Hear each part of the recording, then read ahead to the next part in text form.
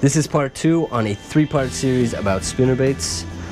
In this video, I will discuss the exact science as to why fishes slam spinnerbaits. Every fisher person should have a fundamental understanding of what is in this video, no matter what kind of fishing they do.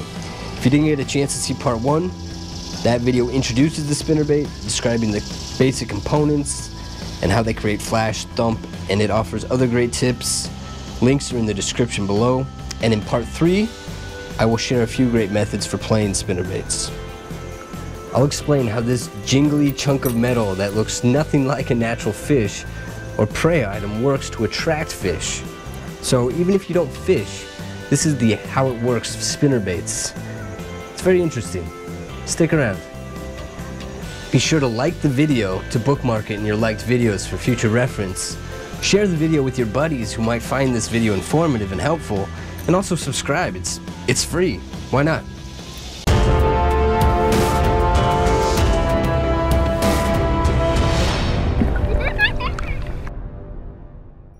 Why would a fish want a spinnerbait?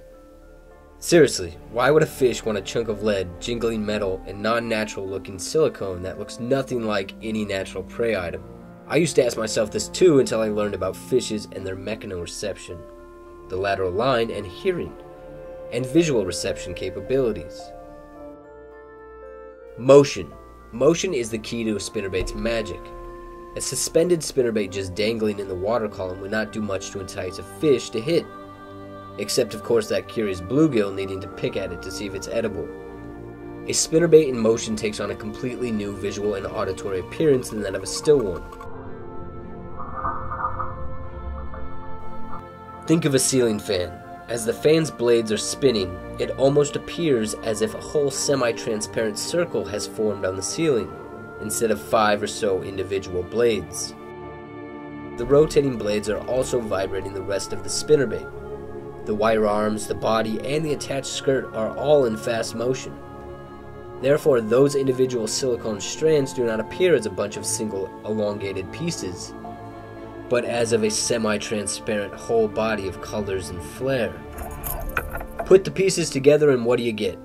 The main theory is that the blades, shining and fluttering, resemble baitfish that are being chased by a larger predatory fish, which is the expressed profile of the body and skirt. How fishes see your lure.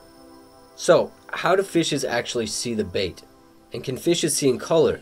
The short answer to both of those questions is that fishes see much the same way that we do, and most can see in color. Remember, the fishes are vertebrates just like us.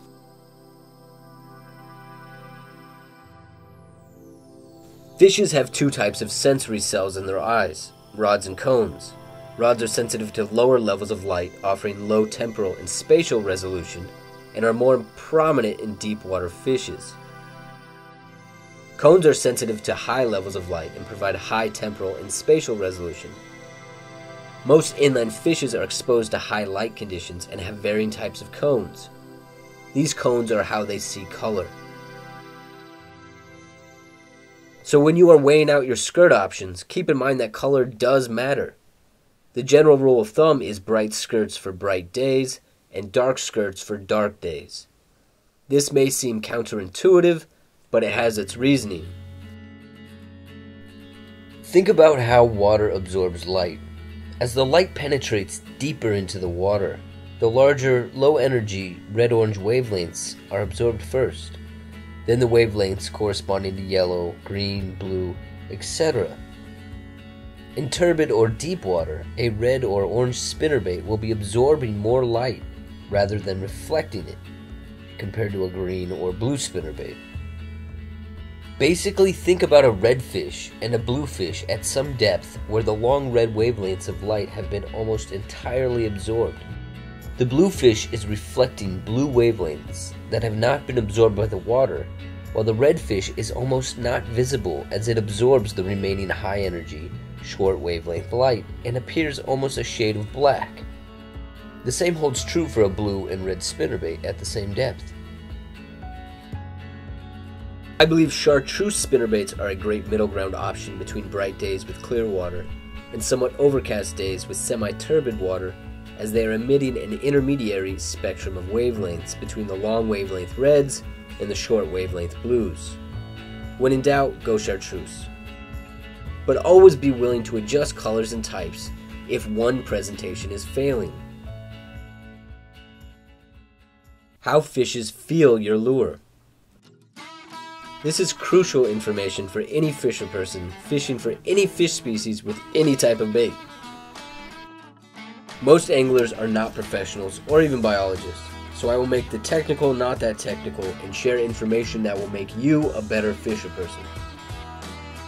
Mechanoreception, the lateral line and hearing. The lateral line. This is a term that should sound somewhat familiar as it is often mentioned in popular fishing magazines and among the optimistic chatter within social bait shops. And if the lateral line is not familiar, that's okay. But what exactly is the lateral line? Simply put, the lateral line is a sensory system in fishes that detects vibrations formed by displaced water. This is how fishes feel their aquatic world.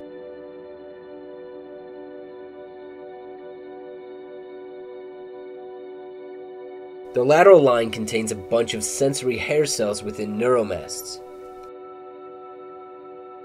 These neuromasts can be freestanding on the skin or embedded within channels both along the body and within dermal bones of the head.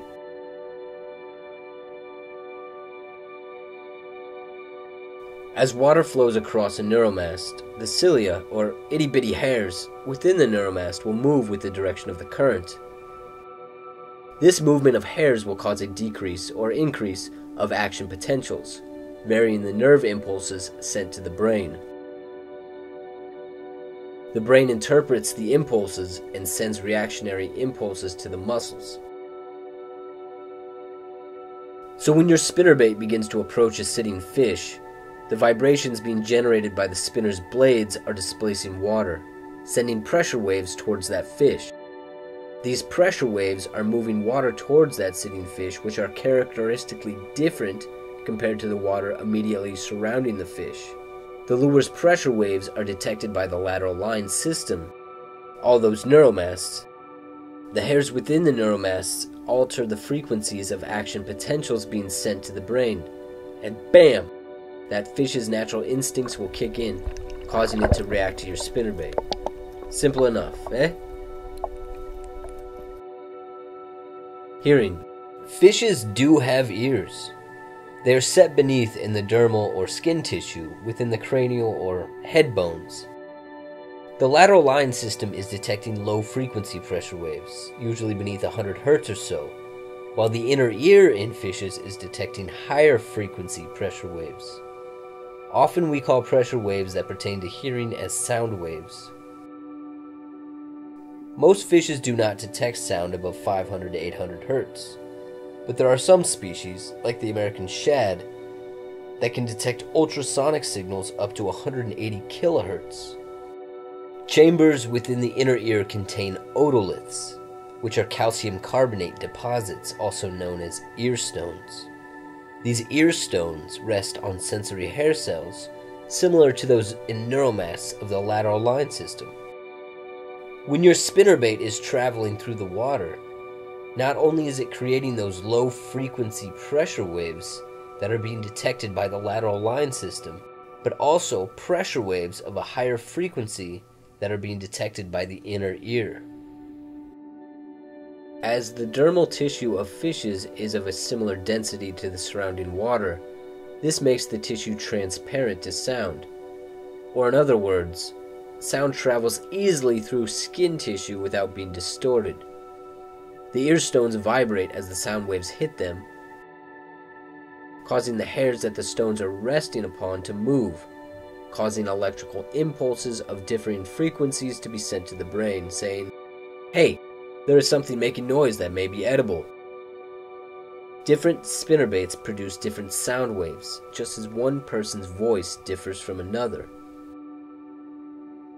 A great tip fishes can experience hearing loss.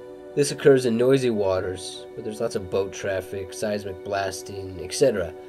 So sometimes it may be advantageous to use an obnoxious spinnerbait. That is, one producing lots of sound waves at high intensity or amplitude, like turning your stereo to full blast, and a lure with lots of flash. Electroreception is also another sensory system in many types of fishes, such as sharks and rays, which fishes use electrical impulses to feel their world.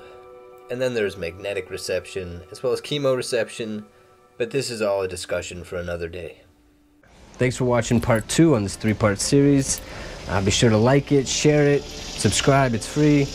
Uh, remember, part one covers what the spinnerbait is, creates flash thump, all that wonderful stuff that you should know. Part three will show some uh, demonstrations on how to use your spinner baits. Keep loving the beautiful chaos of nature.